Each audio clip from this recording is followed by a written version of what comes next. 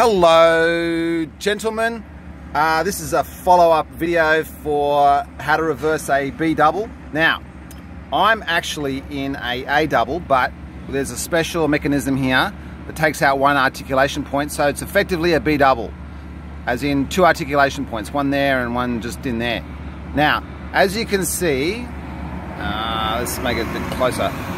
I haven't quite lined up properly, so I want, I want the back of the trailer to go that way. So remembering, basically the easy thing to do, I'm looking in the mirror and I, like a car, you just pull down, you're gonna pull down on the steering wheel to get that to go that way.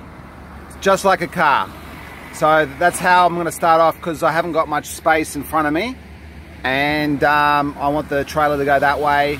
Um, that's what I'm going to do. So once uh, once uh, that guy gets out of the way, uh, get the motor running, get it going, and um, you know, see, oh, I can't quite see it over there, but yeah, I know that I'm basically pointing not exactly parallel, didn't quite line up when I came this way, but that's how I'm going to start off. So again, um, it's a B double, effectively a B double, two articulation points, and I'm to pull down on the steering wheel as I'm going backwards, okay?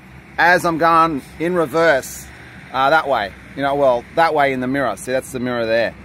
Uh, yeah. All right, so that's a follow-up uh, video for everybody.